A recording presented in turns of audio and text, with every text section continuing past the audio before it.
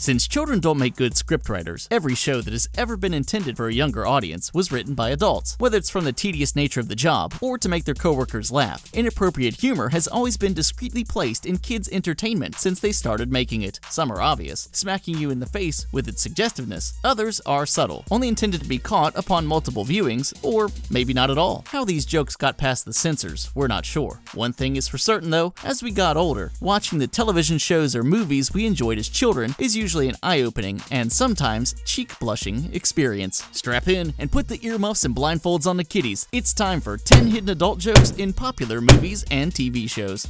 Animaniacs. Not many shows intended for children push the boundaries more than Animaniacs, which aired during the late 90s. The Warner siblings, better known as Yakko, Wakko, and Dot, lived on the Warner Brothers lot, creating havoc through a variety of animated skits. While the show was created for a younger audience, it featured parodies of adult movies, including The Godfather. Still, we're unsure of how everyone missed this moment from the first season. The episode, Hercule Yakko, is a parody of Agatha Christie and finds the Warners leaving no stone or superstar unturned to solve their mystery. No, your ears aren't deceiving you. Dot just declined to put one of her four digits inside the artist formerly known as Prince. After 100 episodes, the show ended in 1998, so we'll never know how they intended to party like it was 1999.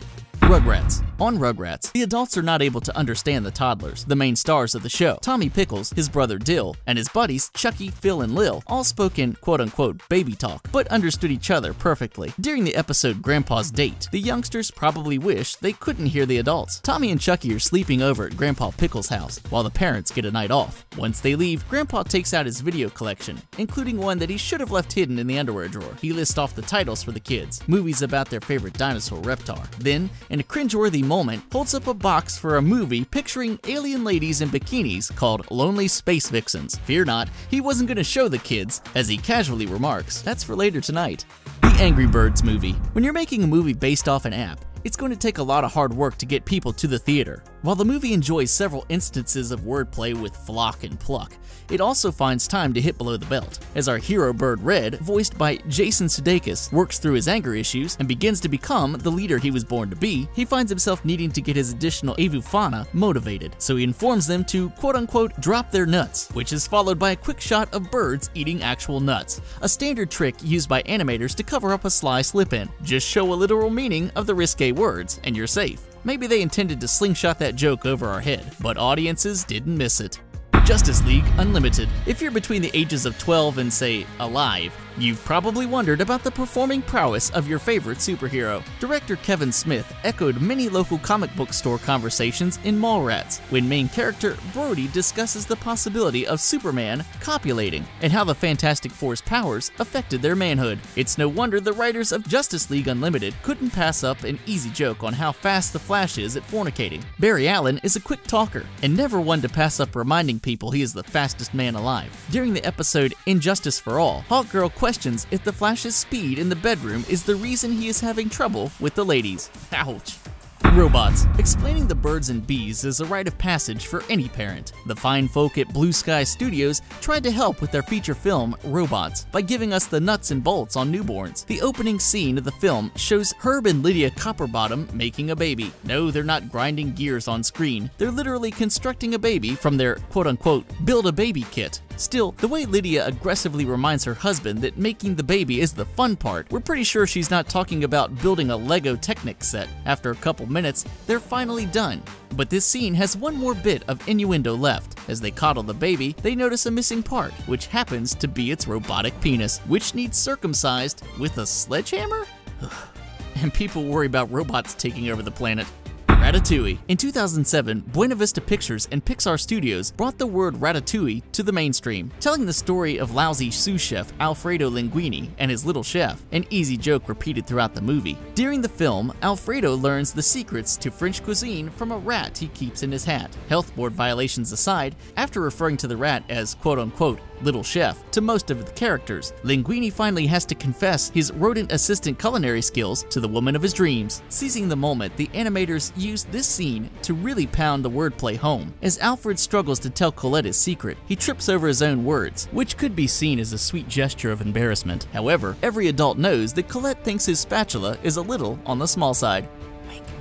SpongeBob SquarePants. Not since Bert and Ernie have two cartoon characters had a bromance like SpongeBob SquarePants and Patrick Starfish. In a show filled to the brim with overt reference and a barrage of adult-tinged humor, the Krusty Krab and Bikini Bottom anyone? One moment seemed to push the envelope a tad too far. The first episode of season 2, Your Shoes Untied, opens with SpongeBob home alone watching a sea anemone swirling around on his television. As some light jazz plays, he appears transfixed until Gary crawls into the room. When our favorite sponge who lives in a pineapple under the sea realizes he's not alone, he quickly changes the channel to USFL football game, which begs the question, which is worse, SpongeBob watching porn or Bikini Bottom's awful sports channels?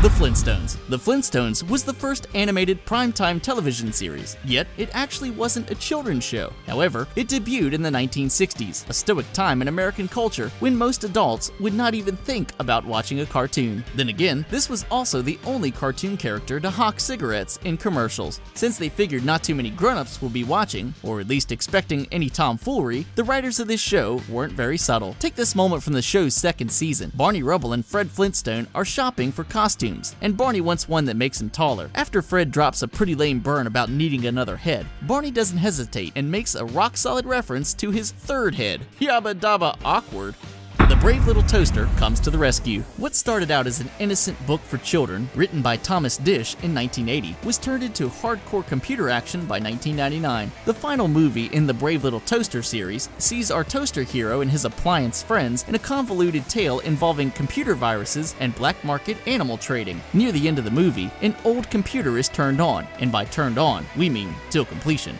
literally. The computer has its memory stroked by an expert, and then, before he bursts, he starts spitting out white paper. How this scene made it past, well, anyone, is shocking to us. After making a computer spray his ones and zeros everywhere, we see why this franchise became toast.